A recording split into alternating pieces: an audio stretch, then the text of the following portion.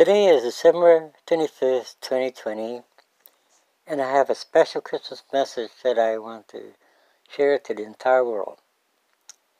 2,000 years ago, an angel by the name of Gabriel appeared to Mary and announced to her that she will bear a son that will bring salvation to humanity, and that his name shall be called Jesus.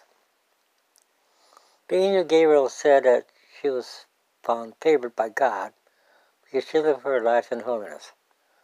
She accepted God's blessing, and in this city of Bethlehem, Jesus Christ was born. Let us all pray and thank Almighty God for sending His one and only begotten Son to the world to redeem mankind and save us all. Here is the scriptures taken from the Holy Bible. King James Version, Luke chapter 1, verse 28 to 35. And the angel came in unto her and said, Hail, thou that art highly favored, the Lord is with thee. Blessed art thou among women.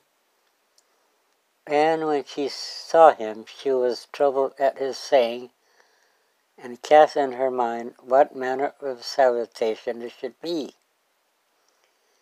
And the angel said unto her, Fear not, Mary, for thou hast favor, found favor with God. And behold, thou shalt conceive in thy womb, and bring forth a son, and shall call his name Jesus. He shall be great, and shall be called the Son of the Highest and the Lord God shall give unto him the throne of his father David. And he shall reign over the house of Jacob forever, and of his kingdom there shall be no end. Then said Mary unto the angel, How shall this be, seeing I know not a man?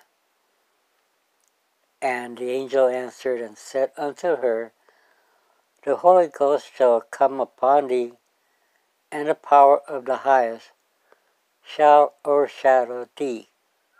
Therefore also that holy thing which shall be born of thee shall be called the Son of God.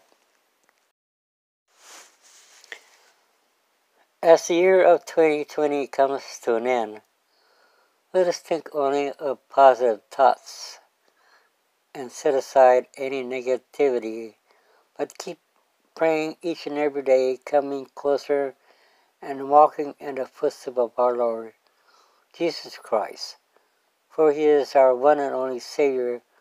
To grant us all salvation by faith, we receive eternal life. I would, I would like to wish each and every one of you listening to my video a very Merry Christmas Christmas and a prosperous New Year. And keep up the faith that President Trump won the election by landslide. And keep praying for our president that God will continue to bless another four years of the Trump administration. And may God bless the United States of America. Amen.